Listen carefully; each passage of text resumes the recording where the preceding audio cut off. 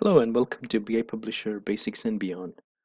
In this chapter, we will look at the basics of XML and some of the basic concepts behind the reporting. Let's get started. So our objective is to get the uh, basic terminologies in XML, review the life cycle of a report. Before we get started, all the files used in the chapters all, in this chapter available for download. I've uploaded a zip file right below this video. You can download the zip file and uh, and and extract them. So here you'll see the uh, links to the websites that I provide. Here are some uh, sample XML files uh, which for you to review later on. Let's get moving. So let's start with the uh, basics of XML. XML is extensible markup language. It's very similar to HTML. The main difference you can see between H HTML and XML is HTML is designed to display data, where XML is designed to carry or transport data. Here also the here with HTML your tags are predefined. For example, if you want to create a bold, you enter you know you enter the B. If you want to create an anchor, you put an A. It has an ending. But with XML, no tags are predefined. You can have any, any tags that you want. So the idea behind XML is to structure, store, and transport information, whereas HTML is designed to display data. Let's look at the anatomy of an XML. So XML has, uh, I would say, four, four characteristics. One is it should have a declaration, the other one is the root elements. You can see in this example, there is a catalog root and a book root. Within the root, you have an attribute. The attribute describes the element. So the, the attribute can be for uh, for any element, but it's primarily used for the uh, root elements. So in this case, I can say a book is my root and uh, book has an ID, which is an attribute. That's the attribute value is bk01 right below right in between the begin and end tags of book you can see tags and data elements. As you notice the tags are pre they're not predefined. You can create any tag as you want. So in this example we are using author title you know price and everything. So you can see the tags has a begin and end tag and as a as a data element in it so here is a live example of uh, the one I was explaining. You can see there is a, a root element for catalog and underneath that there is a root element called book ID, book with an ID as the attribute and the tags are author, title and following through description. So a parent root can have multiple childs. So I can have a, a book that's uh, element that's being repeating. And underneath this book I can have another uh, root elements. There's no restriction on how the data is. So there are certain rules XML uh, plays by. So first thing is first thing is all elements should have a closing tag. So if you see here the first example I put a username there's no end tag that's a bad example.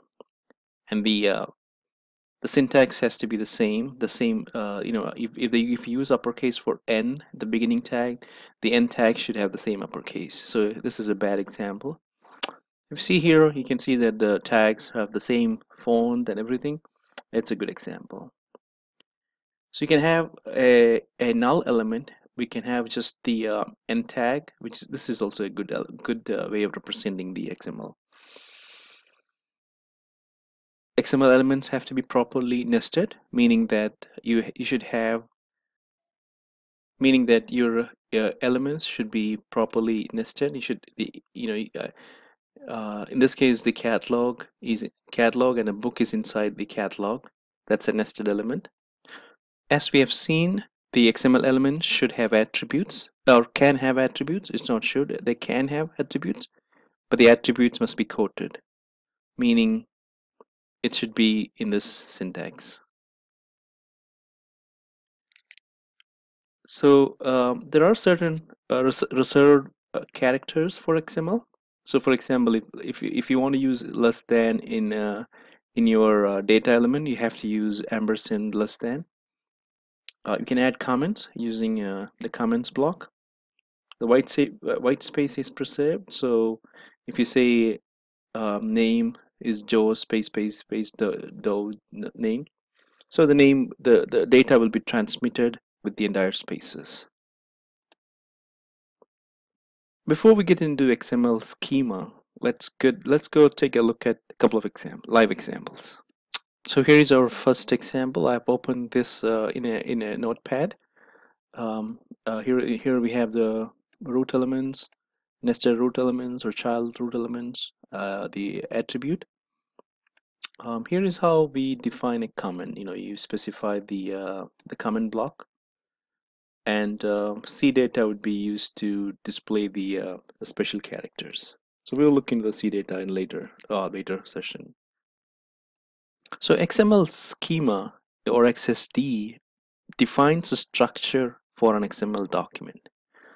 So uh, you can have so we, uh, you know you can define you can predefine the XML structure in an XSD schema, and you can say, for example, um, element would be ship order type is order the order would be the, the type is here you can see the type order type is a complex order type.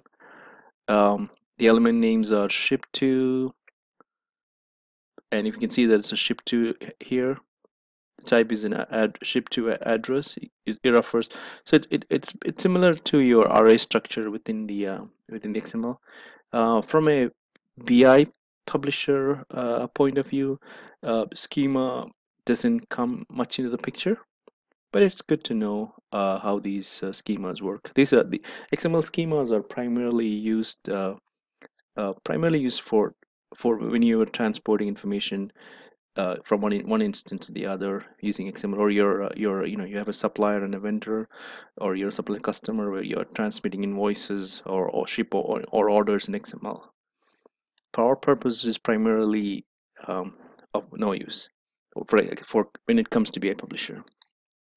So C data is another critical element that I've seen uh, which is useful in BI Publisher. So C data is unparsed character data. So with C data, you can pass any kind of information without the uh, restriction of the uh, of the XML. So for so this is I mean the main purpose, the main functionality of using C data would be uh, in, in XML Publisher would be to build SQL queries in data templates. We will look into the data templates uh, when we get into the uh, data extraction part. So here is a sample where you have a C data and I'm, I'm specifying the SQL statement there. Here is another sample of C data where I can specify special characters like ampersand, greater than, or these are primary these are ignored uh, the, the, these are ignored but these are comments which are which are completely comments and C data are completely different. C data, the data would be still read within the XML the comments are not transferred over so there are a couple of free tools that are available um, I've provided these uh, links in the uh, Word doc in the, in the text file so you can see uh, there are some schema generators you can feel free to play around so let's get into reports. So many people think reports is the simplest part, but you can have a you know a great product that will store data. But if you don't have a way to access the data, manipulate the data, or I won't say manipulate, you, you access the data and and and present the data in a readable format, the data is of no good. So uh, reports the main goal of reports is to extract the data which is residing in the database format it in the way the users want to see deliver it in the right way for example you know if some customers want to see the data in a, in a printed form especially when it comes to a manufacturing industry where uh, you have work orders that need to be printed of course these days we have tablets and everything but still uh, i've seen um, you know pr- printer paper has or printer work orders are much efficient than the uh, the tablet. Uh, for for executives for example for executives they just need to email it or you know go to a website and pull the data. So regardless of it the report consists of you have the data where that's your that's your that's your source. You have a program you have an extraction method that will extract the data from the uh, from the database. You have a formatting part which would format the data in the right format they want you know it could be XML you know it could be colored XML Excel or it could be a PDF with graphs and uh, and and you know and stuff and deliver it in the right format. So a report consists of data extraction formatting delivery presentation. So these are the these are the element these are the uh, these are the main uh, components of a report so the components of a report are data data extraction data formatting and presentation of uh, presentation uh, presentation medium the frequency of generating. Do you want to generate daily or every 10 minutes? And delivery means.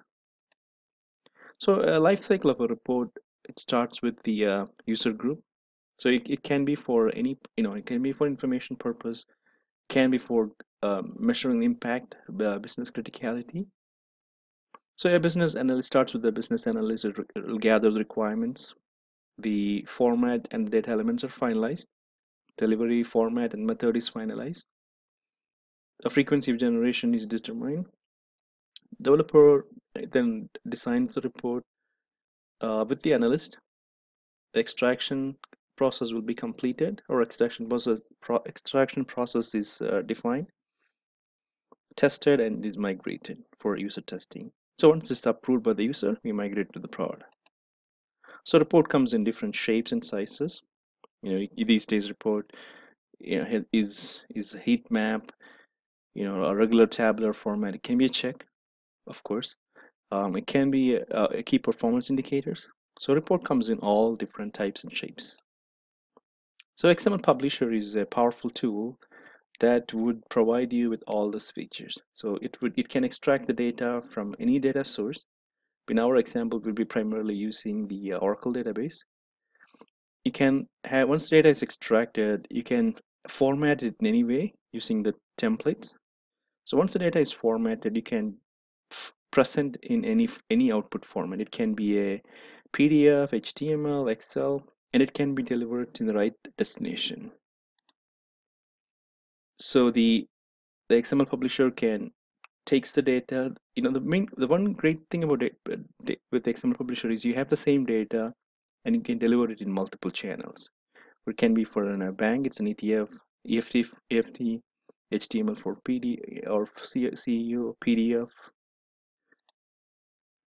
so uh, so this topic we reviewed the xml we looked at the various uh, various reports that can be generated in, XML. We were we just simply touched uh, the basics of of the reporting. The main goal was to see and feel how the uh, how the XML looks like and how it how it can be used in the coming chapters. So uh, thank you th thanks again i'll continue to look forward to seeing you in the next uh, videos